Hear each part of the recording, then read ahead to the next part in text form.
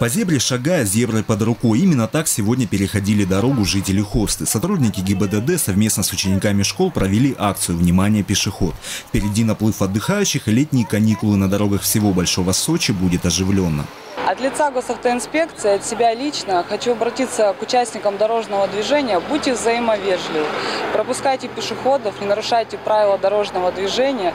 И в преддверии и период летних каникул обратите внимание на наших юных пешеходов.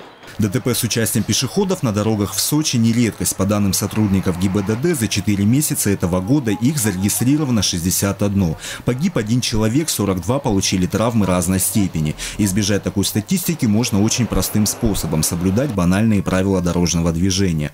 Понимают это как и водители, так и пешеходы, но, как говорится, ВОЗ и ныне там. Люди приезжают, движение у нас тоже большое, и наплыв людей много.